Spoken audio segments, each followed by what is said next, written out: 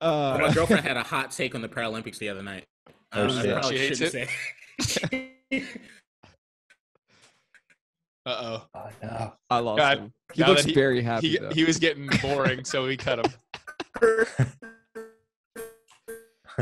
oh no! Is Look this at him. happening He's to you guys too? It, it's an orgasm face. Oh yeah, we see him.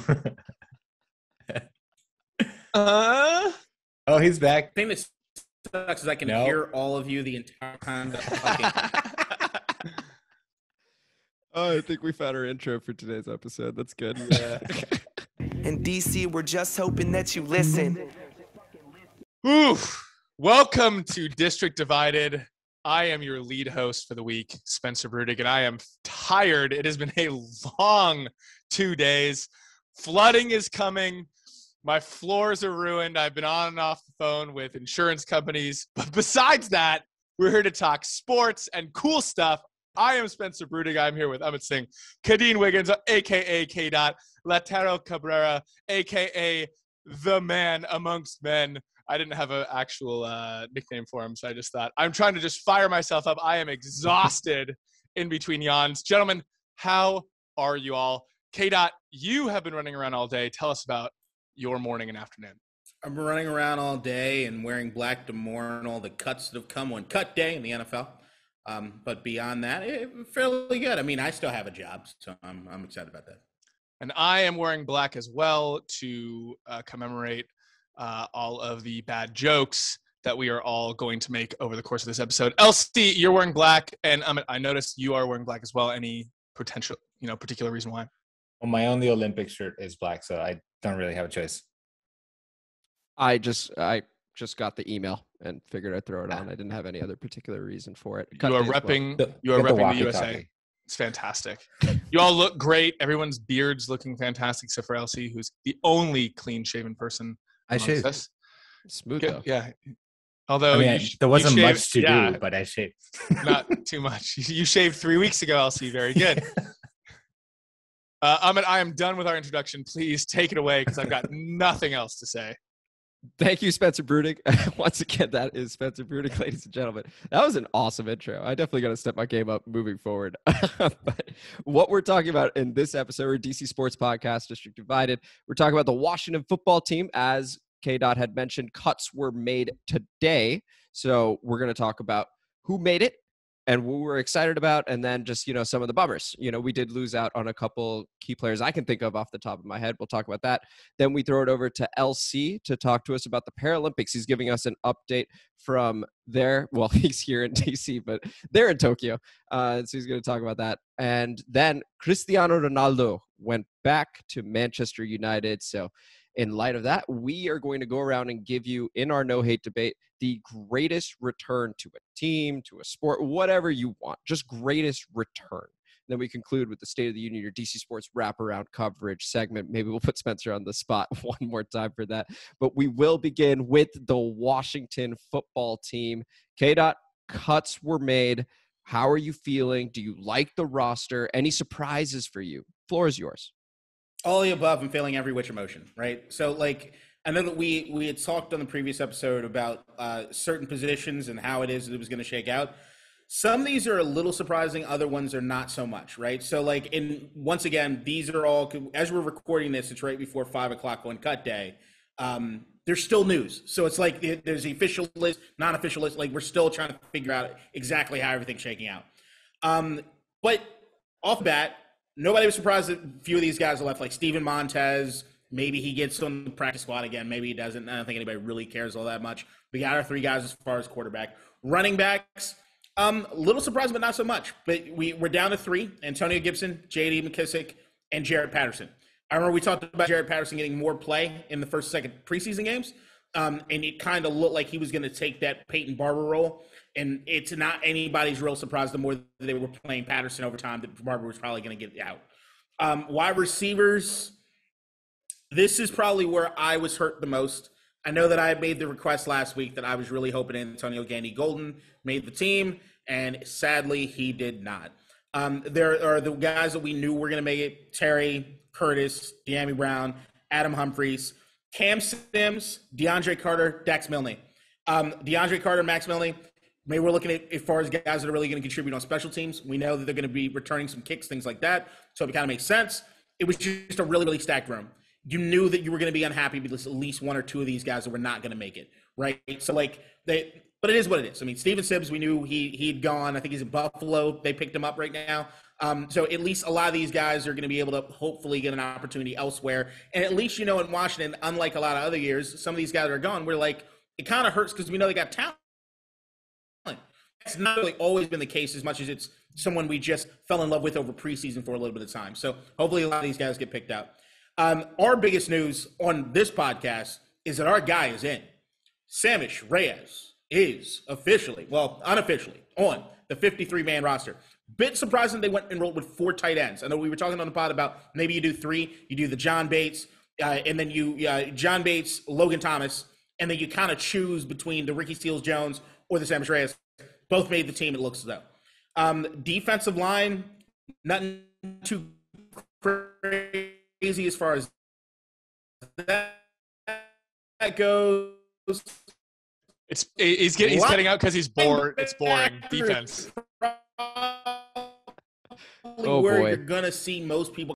I don't understand how, for the first time ever, my internet's fucking up on this goddamn thing. Am I back? You are back. You're back, back. and better than ever. Here's Talk about our elite sucks. defense. I can hear you guys making fun of me when I can't say anything. That's the only really shitty part about this internet being unstable crap is I say, oh, he's making his O face. Like I heard all of the shit. Okay. Like, so what I hear is the downloading is fine. It's the uploading. Okay. It looks like thank you. DC Xfinity bullshit. Okay. Um, hopefully they don't want to be a sponsor. I'm sorry, Amit. linebackers are down to four. Jamin Davis, Cole Holcomb, Jon Bostic, Khaleke Hudson.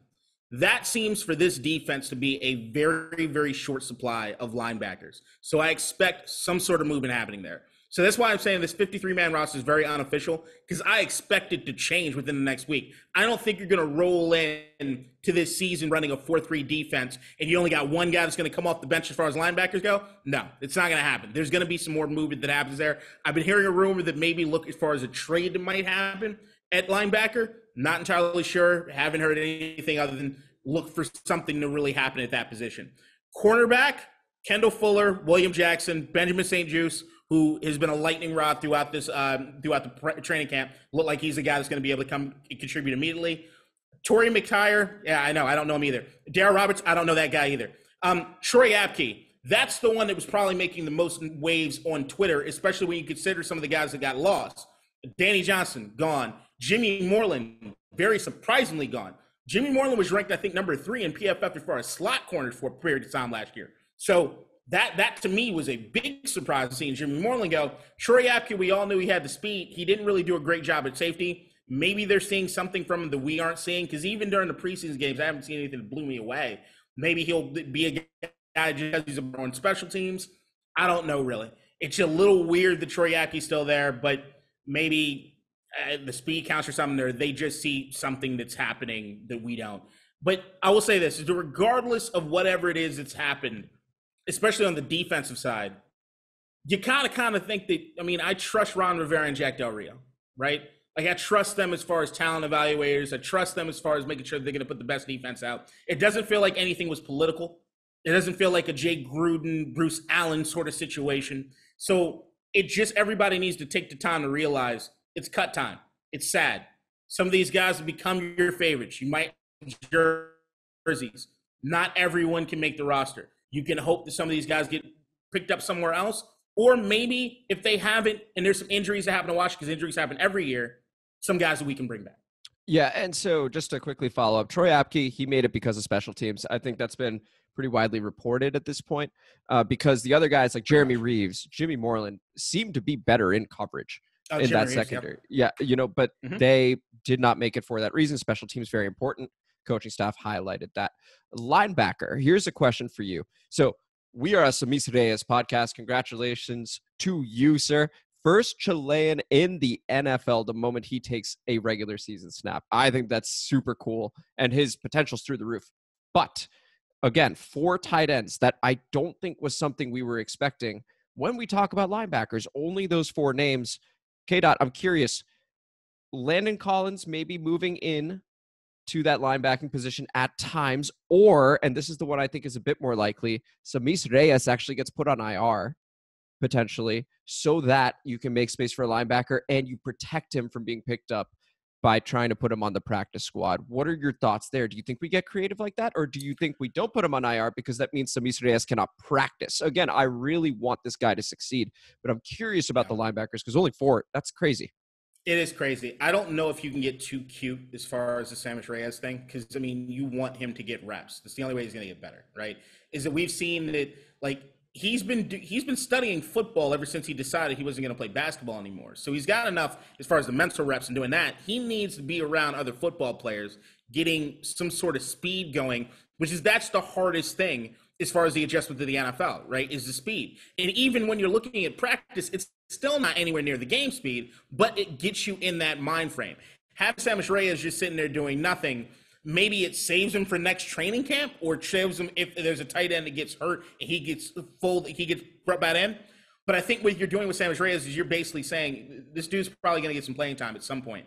I, I, still find it hard to believe that they're going to carry four tight ends, especially with the four linebackers. I, I thought you were going to say they're, they're just going to line them up on defense, which I think that'd be a problem. That um, dude could hit though. He probably can, but I just I don't want to see him lost in the sauce out there. Right, right. on defense, it's one thing at tight end defense that could be that could get ugly real real quick. Um, I think the Landon Collins thing that was something that was rumored that he was going to be switching positions, and then there was the hard, absolutely not that came from the organization that came from Landon Collins afterwards. But if you see Landon Collins and the way they do a lot of things with the strong safety, he's going to be playing around the box a lot. So, um, I, but even if he does, that does not take the place of another linebacker completely. I there is no way that I see this team rolling into the season with four linebackers active. I just don't see it. Yeah, no, I, think it's, but fair credit to the coaching staff, not just choosing to keep linebackers for the sake of the numbers. They'd rather go for quality over quantity, clearly, by doing that. So fair play to them. And again, like you had said, K. Dot, it's a tough day. There a lot of people got cut. A lot of people that have been working their whole lives for this. You know, maybe they'll find another team like Steven Sims who actually did get cut by the Buffalo Bills today. Oh. It's hard it, it yep. it's definitely hard out there for those guys. Um, and we were joking about wearing black for that reason, but it is difficult, and we do hope that our guys succeed at the very least. I want to see, you know, Jimmy Moreland go somewhere. I want to see Jeremy Reaves go somewhere. Do not go to the NFC East. I think that's not allowed, um, as far as I'm concerned. Please go to the AFC if possible. But uh, we're wishing all the best to those who were. Uh, it is well. it is the saddest day of the football year, in my opinion. Like there is a the universal saddest day. A lot of people go to Black Monday I actually kind of enjoy Black Monday sometimes because some of these coaches deserve to get fired. Some of them fucking deserve it, right? But there's nobody rooting against. I mean, Hard Knocks. That's always around the season finale. Like everybody, you, you feel for these guys. Some of these dudes, their dreams ended today. They it ended today, and a lot of these guys are going to still keep trying and clawing. And that's why I think it's important for these leagues like the XFL to hopefully exist going forward, so that they can find a place to land. Yeah, Totally fair. Now, one question, and this is at the risk of maybe helping out K. Dot. We're in a fantasy league together, and uh, I got to ask about Antonio Gibson's fantasy value now that Peyton Barber's gone, because he would vulture some touchdowns at the goal line. Do you think Antonio Gibson's fantasy football value has increased at all? All right. So here's what you just did. You introed it in saying that me and you are in a fantasy league together, right? which means as far as any fantasy advice, fuck all. But if we're talking about the, the podcast, or, so is this for a podcast? Do I have my podcast hat on or my you have your podcast football? Hat on. Antonio Gibson should be a really good pick in fantasy this year. I think that if we're looking at J.D. McKissick is going to vulture a lot of those receptions, and I think we still haven't seen exactly where they're going to line up Curtis Samuel. So there are two things that kind of be a little worried about to a certain degree with Antonio Gibson, plus the health aspect of things. He's never truly like completely healthy. Um, am I looking at him as probably like a running a low end running back two? Maybe. I think I, I think to me he's right. No, you know what? I'd say running back two. You can have him running back two and be okay, knowing as long as you got a good third guy. He's not going to be the dude who's going to put up monster numbers every year. I still think if you're looking at Antonio Gibson sniffing around a thousand yards, um, in in in rushing, especially if they're giving a lot of carries to Jaret Patterson, which it looks like they're going to do. Um, I think you're happy with it. I think he'll have a high enough average. I just don't think they're gonna. He's not gonna be that bell cow. Okay. No, I, th- I think that's a totally fair assessment. Spencer, Elsie, any thoughts on the Washington football team before we move on to the Paralympics? So looking at this 53 man roster for people that actually know the NFC East, where are we putting the Washington football team in the division and what is their final record going to be? Oh, let's get those season predictions in now. K. Dot, you want to go first? Yeah. Uh, so how many games are there now? Seventeen. 17. So I, I think we're a ten win team, um, in this division. I, I put it right around there. I think the defense is going to do it. I really do know that our offense is going to have moments where they struggle. It's just going to happen. Brian Fitzpatrick is going to turn the ball over at times. Um, they're going to have uh, uh, um, they're going to have moments where they're not going to be able to run as easily as we want them to. Um, the offense is still the Achilles heel overall of this team. But with that defense, we can be any conversation. It's all going to be about whether or not Ryan Fitzpatrick takes care of the football and gives us these opportunities. Um, I, I, say 10 wins, and I think that that's even a little aggressive. Um, but I, I, think it's an improvement over last year. Yeah, I'm going to go nine and eight, uh, but it's still enough to win the division because it's bad. So Dallas, I think, would have the second highest total. They'll probably be at eight, is my guess, because their defense still is bad. They've tried to address it, but it's still going to take some time. The Giants are a mess. It's hilarious. I mean, Cam Newton got cut today. They should strongly look at him because Daniel Jones is a train wreck of a first round pick. So they're going nowhere so long as he's there. The Eagles, you know, they tried trading for Deshaun Watson. I don't know if you saw that, K. Dot, and he uh, exercised his no trade clause, saying, "I'm not going to Philadelphia." So, you know, humanitarian stuff aside, that's hilarious. Um, and I think just him not wanting to go to Philadelphia speaks to the fan base of just terrible people, as well as just the roster being pretty bad as well. Jalen Hurts needs to be really, really good. So I'd say first or second, leaning towards first because I do think we probably have the most talented roster in the NFC East. And with that, Spencer, did you have a prediction without knowing about this roster? We'll go. They're going to be 500. They can't be. They'll be yeah they nine nine eight. Okay, nine eight.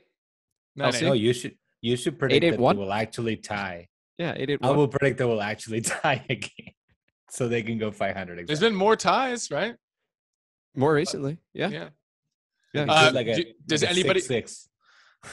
anybody look at Cam Newton, or you all set? No, I, I mean not not for the Washington football team.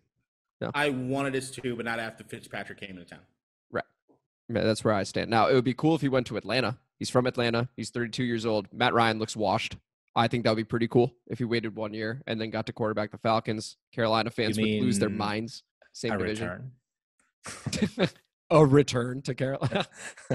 I think the Cam Newton thing is uh, the. I haven't heard anything complete on what happened there at the end. And I think that there are a lot of questions that I have as far as what happened at the end. There was a story about, like, I'm hearing he's unvaccinated, and that might have played a factor. At least it didn't help. I also heard, I mean, Mac Jones beat him out, and there got to be a certain element of Cam Newton. It's like, I'm not sitting here to backing up anybody. And with Mac Jones, you don't. We apologize for the technical like him sitting in the wings. You were listening to District Divided. If you're going to start him, so like I don't know what situation. God damn it, I don't know what. I love that it's just like it ended ends up like merging the two. Like the happy talking. Like look at look at his fun face now. That's so fun. just frozen. This podcast is brought to you by. brought to you it's by. a commercial break. It's a forced commercial break. Are you back? You Internet. back? Kadeen, you back? We can kind of see you now, buddy. Now you're there. Now you're not. Xfinity. I, once again, I can hear you guys throughout all of this shit making fun of me. I don't know if you can hear me. Um, now we can. I'm now just going to shut the fuck up until uh, no hate debate. So. All right. Well, I just want to give my quick Cam spiel. I think it had to happen. Uh, thinking more about it, initially I thought it was like, whoa, that's crazy. And the more you think about it, if Mac Jones was their starter and they decided rookie quarterback out of Alabama, if that was the decision they made, it makes a lot of sense not to have Cam Newton there because if he gets off to a rough start, people are going to talk about Cam Newton. For those in the locker room that like Cam and maybe don't like Mac or disagree with the decision, there could be problems there. So I think they needed to get him out. COVID stuff aside, I think it made sense to remove Cam Newton from that locker room if he's not going to be your starter. It's unfortunate because I think he's incredibly talented, but he has looked a bit rusty at times. I hope his shoulder's okay. Sometimes he just sort of throws one in the dirt, and I'm like, what the heck just happened? This is a former MVP we're talking about. So I do think he'll end up landing somewhere, but I think it's going to be a bit of time. I don't think it's going to be the next few days. I think it's going to be the next few weeks, maybe even months, but he will land somewhere he's too talented not to. That's the thought there. Um, but let's move on to the Paralympics, which are happening in Tokyo right now. And LC last episode right. gave us a preview of the Paralympics as well as a number of DMV athletes that are there. LC, take it away. How are we doing? Yeah, so the US in general is doing well. I mean, obviously there's uh there's less there's fewer countries that are really competitive at the at the highest level. Um, I think in, in the Paralympics, but um, I'm going to focus mostly on the uh, on the DMV athletes, a few of them that we talked about in the last episode.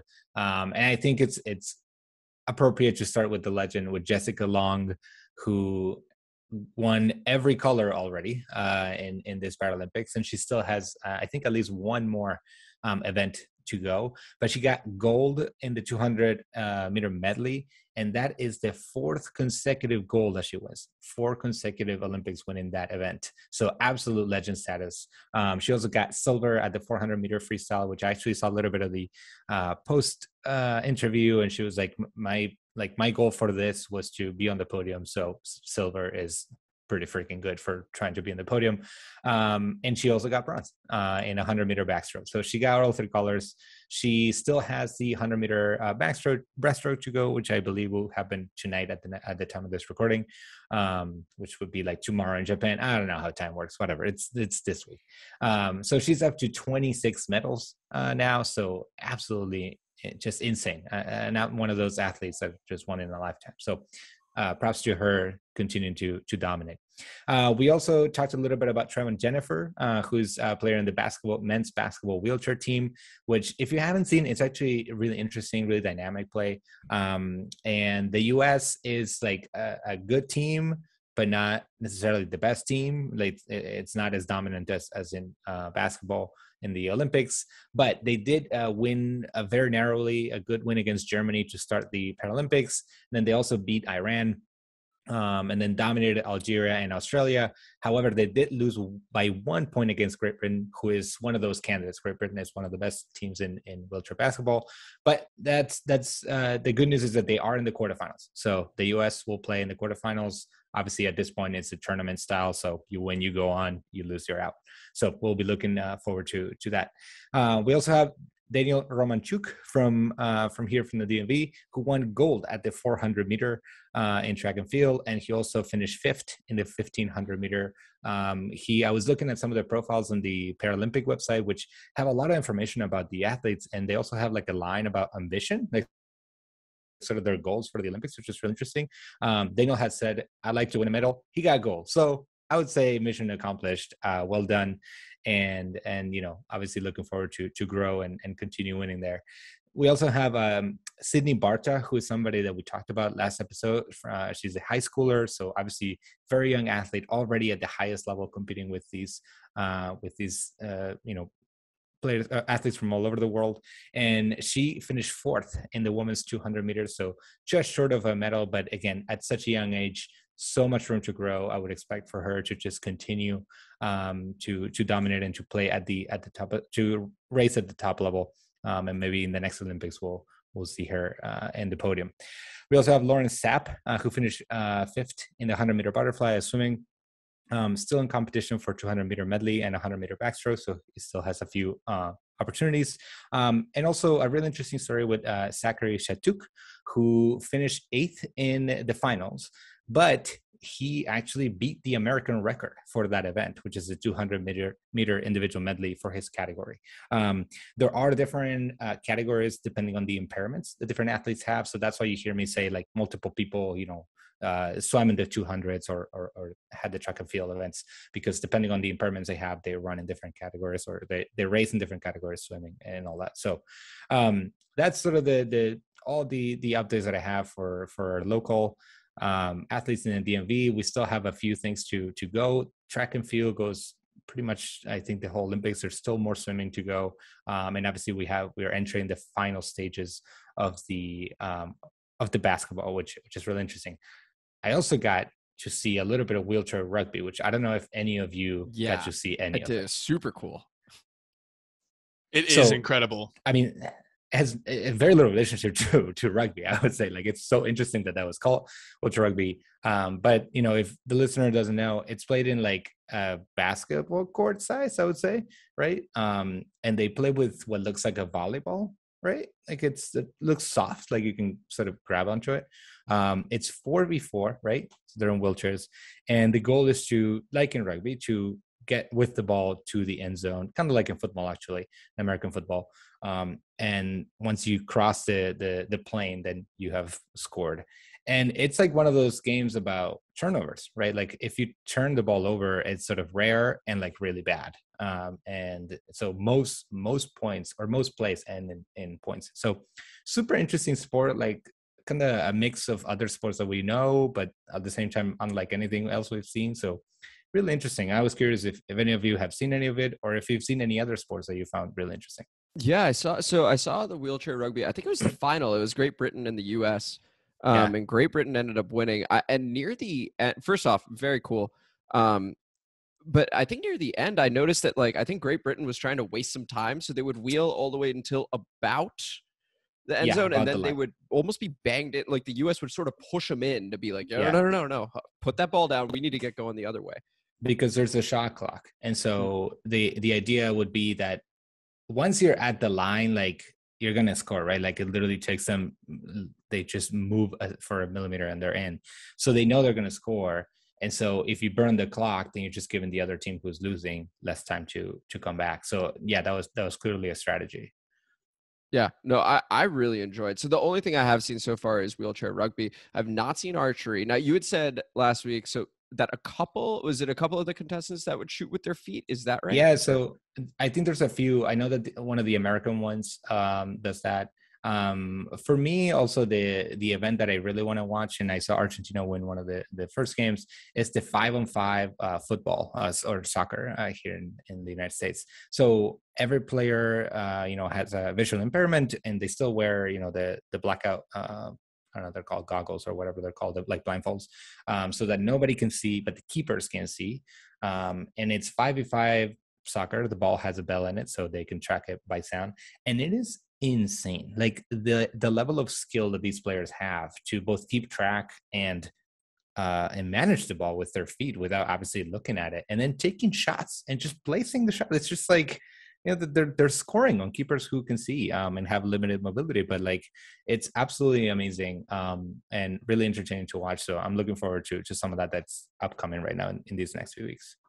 I will say too that um, Paralympic tennis is unbelievable. If you want to see I something that. that's just scales perfectly, that there's nothing Yeah. really that you have to know. It just they get two bounces. Honestly, I feel like some of those elite um, Olympians could probably beat the vast majority of like of uh, normally abled people because it's just uh, I shouldn't say normally abled, but able-bodied people because they uh, they move so quickly and they hit so hard. It is really really impressive to watch. So Yeah.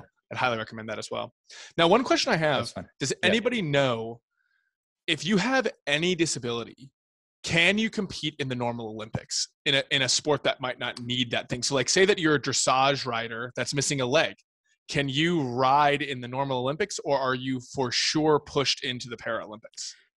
So from what I remember, that was the whole conversation around Oscar Pistorius, um, because he had uh, like he had two uh, missing uh, limbs, right? Like, uh, and so he had two proth- uh, prosthetics, and I'm pretty sure that th- there was like a whole international Olympic committee, like you know, conversation, debate, whatever you want to call it, because he wanted to participate. He run it to run in the Olympics, and from what I remember, they they let him participate. So I would say that um, if there may be some I, I remember some of the discussion being around like is it is it an advantage actually to have the prosthetic like can you make it so because it's it is like a technological piece right like it is sort of man-made and so the conversation was wasn't on like um, the conversation was around is having a prosthetic a, an advantage because you can design it to be faster or to be better or to be whatever.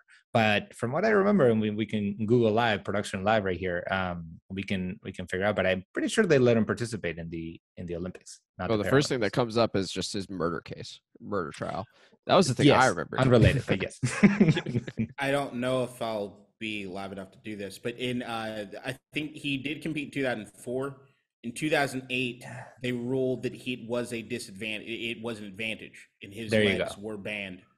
Okay. Got it. Yeah so so i would expect that to be it to be sort of like a case by case because like what you said spencer maybe in, in, that case it wouldn't be an advantage right? But i think in track and field where like he's using the prosthetics to like run um maybe that's a different case but i don't know.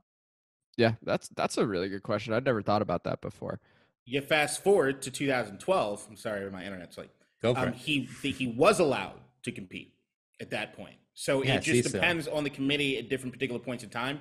Hmm. And it depends on what's happening as far as any legal suits or anything. It seems like it's there's not a surefire answer across the board as far as the prosthetics go. They're just doing yeah. this for ratings or something like that. And it's like, oh, this time we'll let him, and like, oh shit, he's allowed this time, and like the last time it wasn't, and they just like enjoy the buzz, or like, what's the deal with that? I feel like, like once they make a ruling, that I'm sure. I, I mean, I'm sure there's turnover in the Olympic Committee, and like maybe the city that that organizes may have may have some more sense because the, the sports that are in each Olympic change right? Like the um, we were we were talking about the Olympics, like the skateboarding. I think will not be on the Paris Olympics, um, and so and they will be on the whatever they are in Australia in 2028. So like there there's some changes that that you would think are also more permanent like the sport is a part of the olympics but like even that is is not so. That's interesting. So so i guess they do go through each committee will be like yep this one is this one isn't this one is this one isn't and it's almost like just a brand new set every single time yeah. and i'm sure some are just sort of grandfathered in and they just go well that's definitely like the track right. and field will stay forever you know i'm sure.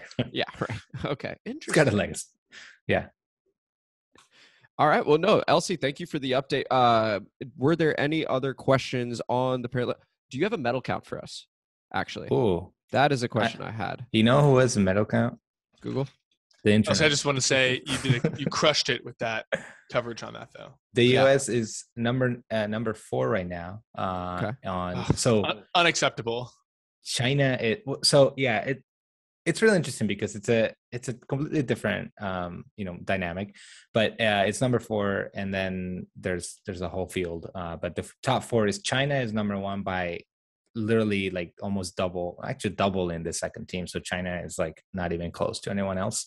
Um, then it's Great Britain, and then RPC, which I, I don't think we should say who they really are because then if you actually Can't name the words, then it's like defeating the purpose of I don't know some team with a white flag. yeah, yeah. I don't know who they are. Um, and then the United States is fourth. So um, yeah, a lot of events to go still. Uh, we're I don't think we're even halfway through them. Um, but okay, but the US is lagging a little bit behind some of the other teams. Okay. Very close. Perfect. LC, like Spencer said, just going to echo that. Killed it right there. That is your Paralympic update, not just overall, but the DMV perspective as well. So That's thank right. you for that, LC. And now we're going to move on to the greatest return. Cristiano Ronaldo went back to Manchester United after 12 years, spent some time at Real Madrid, spent some time at Juventus, and now the prodigal son has returned to Manchester. I was hoping it would be to Manchester City to see the United fans just cry, just cry so much as an Arsenal fan. That's what I needed this season. Bro, the city would have gone on fire. There oh, would have shit. been a civil war in Manchester. and I was all for it. it. I just yeah. want chaos at this point. Anything to take away from Arsenal's season right now. God damn. Tottenham's That's in first place. Arsenal's in hmm. last place. At least if Ronaldo goes to City. Nope, goes to Manchester United. So we're gonna go around and give you our favorite return. Again, it could be to sports, it could be to a specific team. And we're going to begin with LC because he's on fire from talking about the Paralympics. Go ahead, LC. Floor is yours. Well, for me, it has to be. I mean, you know, I came in the states sort of more permanently in 2012. So, like some of the earlier returns that I think some of you may talk about, like maybe I wasn't yet involved in like the whole cultural, you know, context. But for me, it's the return of LBJ, and it's not Lyndon B. Johnson; it's LeBron James uh, coming back to Cleveland after four years in Miami after winning titles.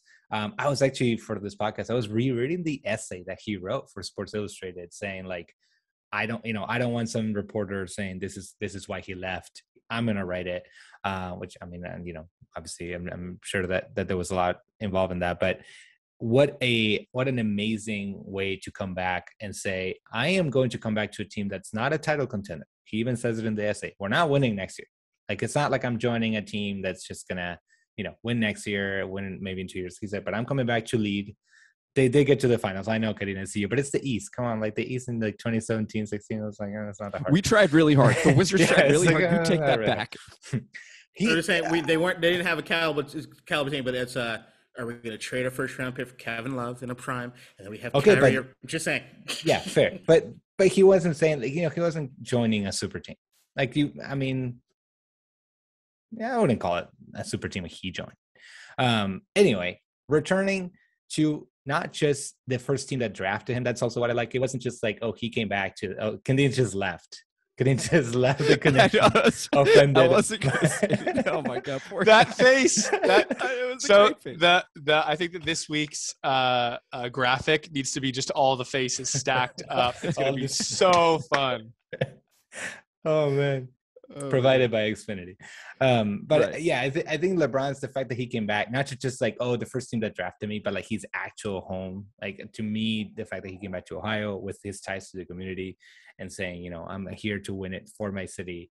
That to me was amazing. And then to fucking do it against the best record re- regular season record team in history a stacked team um, of the golden state warriors sorry spencer with uh, you know steph clay Hey, a Uh, homegrown team Iguodala. was not stacked. It was a homegrown. There's no Kevin Durant. That Okay, but they're still it's stacked. stacked. Don't care. Come on, man. You next can- season was stacked. If you if you homegrown great players and then you stack them together, you're still stacked. I don't give a shit. Correct. I don't care. Would where you they come say Barcelona, for example, was not stacked with Because Iniesta, Messi- Xavi, Messi because they were homegrown? Like, no, they're still stacked. anyway, and speaking of returns, they came back from a three-one. Like it's fucking insane. Was that the first time, or like Yeah. the fourth time that any NBA team did it? But the first time in the finals, I think, right? Yeah, I Um, mean, so to everyone thought it me- was over. Oh yeah, they were selling the they were selling the shirts. They were selling the shirts of the cha- the uh, uh, Warriors champions. So to me, that I, I just have not seen a return like that. Just so much meaning to it, um, so much so much promise and potential, and then to deliver that way, uh, just the whole package. I, I- mean, that's it's really hard to argue against LeBron coming back. I remember hating him for going to Miami. I hated him in Cleveland because they kept knocking the Wizards out, even when he was like, I don't know, 12 years old. It was really annoying. Uh, we're gonna throw it over to K Dot right now. K Dot, you have 27 seconds before your internet goes out. Spencer, be ready to go in case he goes out. Go ahead. I hate this. Um, I, I know that my answer was Michael Jordan, but I'm pivoting. Maybe it's a strategy for no hate debate. But uh, I think Jordan was the easy answer. And you, either one of the gentlemen that haven't gone yet, you'd be wise to take the choice. But um, outside of this, it's undisputed. It's indisputable. Muhammad Ali, greatest return back to sports in the history of sports. I mean, you're talking about a guy who, because of his convictions, almost went to jail because of what it is that he felt about not involving himself in the Vietnam War. He comes back and has arguably the greatest boxing career ever. I mean, we're talking about the the two Joe Frazier fights, uh, Ken Norton's fight. Like he goes on to be probably still to this day the most influential sports figure in the history of the world. And I don't think that's hyperbolic in saying that. So, uh, Muhammad Sounds Ali. like another no no hate debate. I, I you know, uh, Kadina, I just want to jump in here. No disrespect to you and your choice, Muhammad Ali, but we got to go with Jordan. Okay, think about this. Think about this. Jordan leaves as the greatest of all time, and he leaves to go play baseball because, because his father because his father is killed. He defeats alien monsters, right? And then he comes back with the help of Bill Murray and he becomes the greatest of all time. I mean, there is no question. This man went and actually was pretty good at baseball, not gonna lie. You look at his stats, he's no Tim Tebow. He's a good, he's a good ball player. He's an okay ball player. Co- goes and defeats the Monstars and comes back and crushes it all with R. Kelly's soundtrack playing in the background. I mean, unbelievable. It was uh, unbelievable. Just what a movie. What a story. So forget forget the Bulls. Just beating the Monstars alone makes it the greatest return. Is the angle you're going for? Is that correct, with Spencer? Bill Murray. With Bill Murray. That Yeah, movie Bill makes Murray, no so. sense. It's really dumb. Space Jam 2 is just as dumb. It's really dumb. They're in the ground, yet they show up at the end in a spaceship. It makes no sense. It's It not makes sense in logic. an alien world. It's loony. It's loony. It makes no sense. Bugs Bunny comes up with the rule that they have to play the game. Come with the rule that you don't have to play the game. Like, what are you doing? It doesn't make It's- any sense. it's just the bad dumbest drama. fucking movie. and not to mention, you can have Jordan. I gave you Jordan. Okay, I gave him to you. You gifted him. I gifted Jordan. to you. But But Spencer, I, I don't. Were you gonna say the monster? he took it with a twist. He Yeah. took- Monster? he took Jordan with a twist there. No, because then you got to bring up R. Kelly. So on my side, I got Muhammad Ali. You rocking R. Kelly and the Monstars, homie. no, no, no. They're the villains. They're the villains. Uh villains. huh. Uh huh. Uh huh. The yin some MJ's yang, right? Yeah. Okay. Oh, but seriously, that second one, I can't bring myself to watch it. I just don't understand. This is a, here's another thing.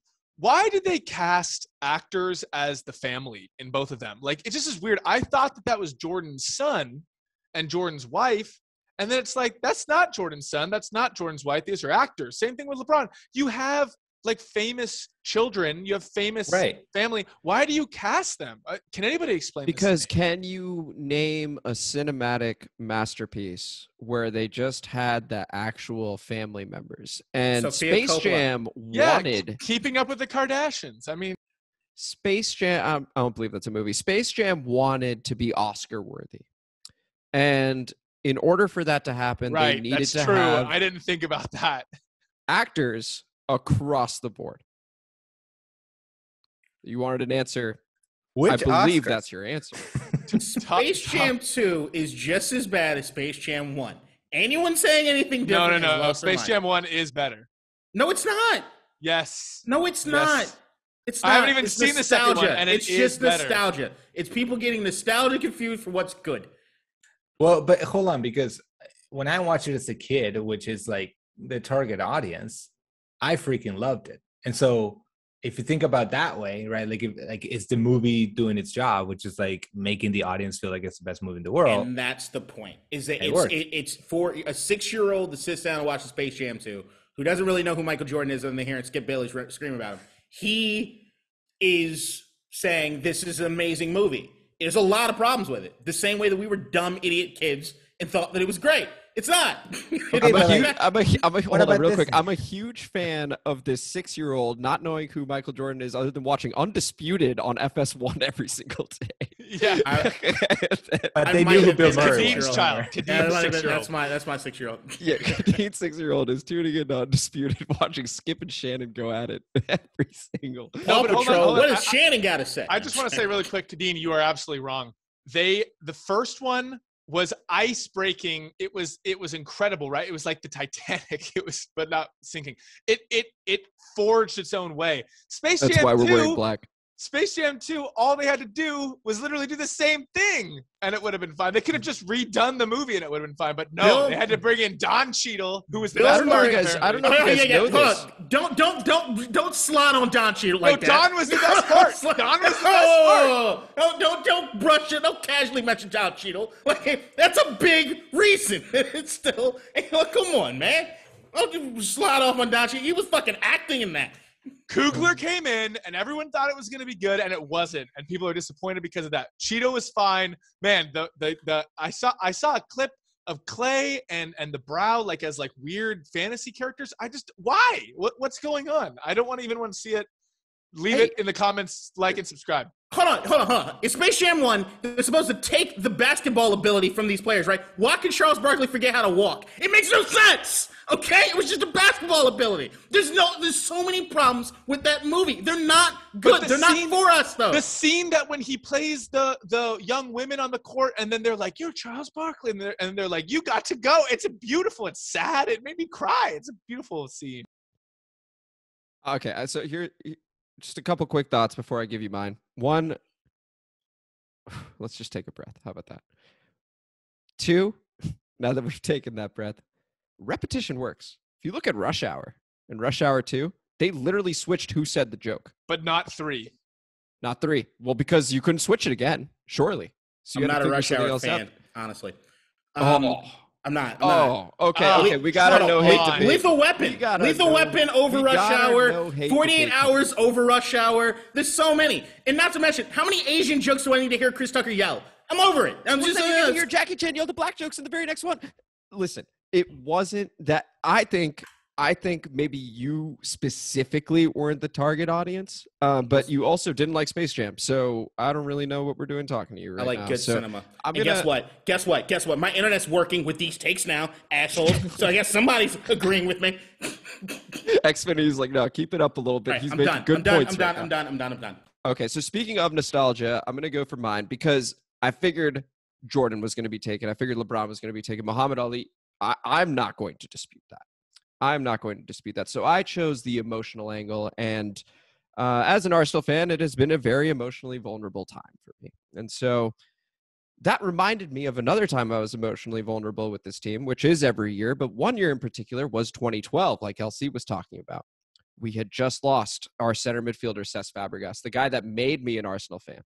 We had lost Samir Nasri. Robin Van Persie had to carry one of the worst rosters I've ever seen to the Champions League, meaning finishing top four in the Premier League. And who showed up to help but club legend Thierry Henry, who had spent so much time with Arsenal, what, arguably the greatest Arsenal player ever, right?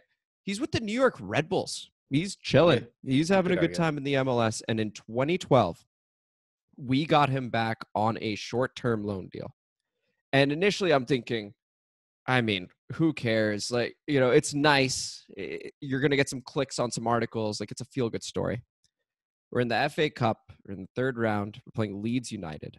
It's 0 0. And Henry gets up and starts warming up. And people are like, okay, clap and stuff like that. Like, cool. He's not going to go in, though. He goes in. And within 10 minutes, has his trademark from the left side of the box, right foot, inside corner, finishes. I kid you not. I became an Arsenal fan the year after he left, and I was crying because you could feel the emotion from. I, I can't explain what I like. I Oh, just no, I'm with straight up could not explain what was going on for me.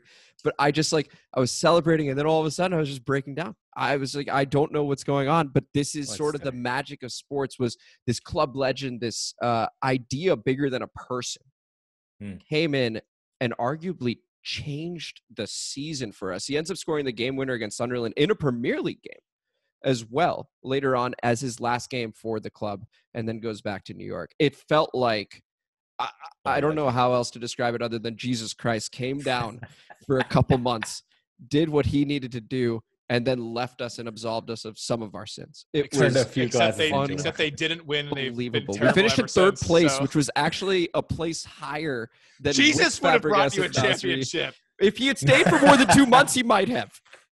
If he had stayed for more than two months, he might have. Oh, it was very, very difficult. Van Persie left immediately to Manchester United. I love that story. I mean, I do encourage everyone to go back and just when he says when Ahmed says he cried, LC and I burst out laughing. Kadeen is like heartfeltedly like, yes, I understand, but it was And a I very funny moment. came I out. really liked it. I'm a great I'm, story. I'm thinking about how I won this no hate debate because you two assholes are debating or Space Jam shit, Space Jam shit part 2.0, and he's over here crying on Thierry Henry. I think I won. All Really I was though- debating, it's a no hate debate. I think I won. I brought hate. nothing but love to that debate. yeah, love. love and Uh, just the emotion. I love I love. Ronaldo returning, by the way. I think it's so cool. I know Amit, you want to watch the world burn, but I think it's so cool. If he wins one Oh no! goat? Are you reintroducing this? goat, is Oh, goat? shit. what I tell you what. Uh, so no, once once the once the dust settled, I did think it was pretty cool. I, I mean, he is 36 years old, but he works, and I, he's still going to be productive. So I I think for those that are like, oh, why he's 36, citing the age, you don't know what you're talking about. I'm just going to tell you straight up, you have no idea what you're talking about. He is going to be productive for Manchester United. I think it was a great move for them. They got a huge emotional lift. The same thing I'm talking about with Thierry Henry. They got a huge emotional lift, and this guy's staying there for at least one season, one full season. When they play Liverpool, when they play Manchester City, when they play at this point Tottenham, and Chelsea, you are going to see a very different Manchester United, not the one you've seen in recent years where they somehow fold. He won't let them. It's going to be very must watch TV, entertainment, soap opera, reality TV, whatever you want to call it. You're going to want to watch that because he is big time. And I love the move from Manchester United's perspective. Hate it from the watching the world burn perspective because all is well in Manchester. Very annoying. And he'll be their top Calvin Klein model on the team. He's oh, that's very attractive. I'm really used to returns because in Argentina, good players are sold to Europe. Like as soon as they reach top potential, they're like, "Fuck it, make as much money as we can." Um, and then once they're like 36, they come back fat and slow, and they're like, "I returned to to the home team." It's like great. It's like I never left, Thank- baby. Yeah. so we're, we're used to them. didn't didn't uh, Tevez return? Oh yeah, Carlitos came back twice. He came back, got fed up, went to China, was like, "The fuck am I doing here?" Came back again, and then it was just like, "All right, I guess it's time to leave now." Like, It must have been emotional when he oh my god, every time. That's what I'm saying. It doesn't matter. He I mean, got to go to Like, China, do whatever. Diego came back after his like, you know, of course, every every good enough Argentinian player to go play in Europe eventually comes back in their 30s. It, it just happens. I, there's actually like there's actually like debates about will Messi come back to Newell's Old Boys, which was the like youth team he played in in Rosario, because like he could like, he could be 37 and be like, you know, I'll play a year for my. He could probably be like 45. Well, you know, his like main talent is speed, you know, like speed with the ball and like agility. So like it's not like a keeper, you know, like I don't know 45 how fast he's gonna be. But whatever. He can play whenever and people would love to bring him. Like that's out of the question. some free kicks, some through balls, some ticket sales. You'll be there you. Yeah. you Oh, yeah. will be there. Anyway, that's going to conclude this week's State of the Union DC Sports wraparound. Cover- Whoa, no, I'm sorry. We are beginning the State of the Union. That's concluding the no hate debate. Um, and the State of the Union is a very, very quick one, beginning with the Washington Nationals. We suck. Keibert Ruiz made his debut. He was part of the LA Dodgers trade. So nice to have him, but we suck. We'll see you in 2023. Then we have the Washington Spirit. They tied 0 0 to North Carolina Courage. They are now in sixth place in the NWSL, very last playoff spot, eight games to go. This Saturday, they play at the Portland Thorns, 10:30 p.m. on Paramount Plus. See what happens there. DC United, big 3-1 win over the Philadelphia Union. Boca Juniors man Ramon Abila scored the game sealing goal. what a man. Love that guy. Also goes by Junior because his dad is also Ramon Abila. And so DC United do not have any more games until September 11th. It's an international break. They are in seventh place in the Eastern Conference. And finally, the Mystics, Elena Delle Donne, has finally returned. And just as she returns, Tina Charles, the current frontrunner for MVP, gets hurt. So we still need to see them together for more than one game. The Mystics are currently in ninth place right now. Top eight make it. So still some time to go over there. And that's your very short State of the Union DC Sports wraparound coverage segment. Talked about the Washington football team. This is District Divided. I am Amit Singh. Spencer Brudig's the guy that brought you in today. That's K Dot with the shitty internet. And that is LC Lautaro Cabrera with the Paralympic update. Thank you all for listening so much. And we will see you again next Wednesday, 3 p.m. Take it easy. Space Jam is for kids. It Space Jam's sucks. amazing. It's amazing.